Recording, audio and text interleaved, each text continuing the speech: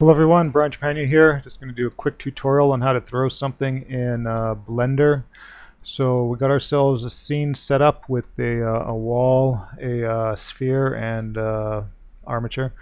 Uh, so we'll be turning the wall into a rigid body and set it to passive and mesh and then select the sphere, again rigid body, but leave it as active and change it to sphere.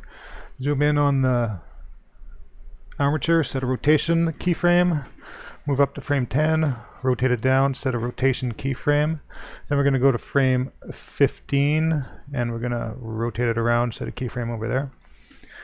Uh, for the rotation, it's actually going to end up spinning underhand, but that's okay.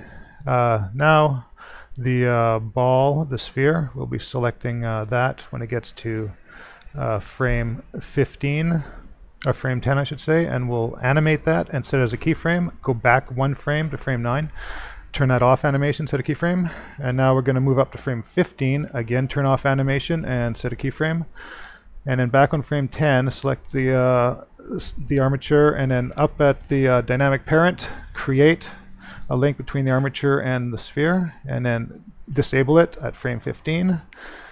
Uh, and then boom, it throws it. And then you got self a rigid body being tossed through the air. And uh, if you set up other rigid bodies, it will knock them down. And there you go, throwing something in Blender.